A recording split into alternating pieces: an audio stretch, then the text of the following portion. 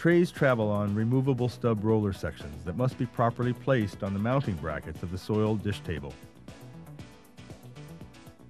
The position of the photosensor can be adjusted.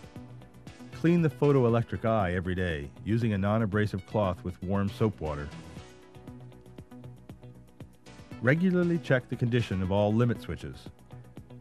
Make sure they are clean and clear of obstructions.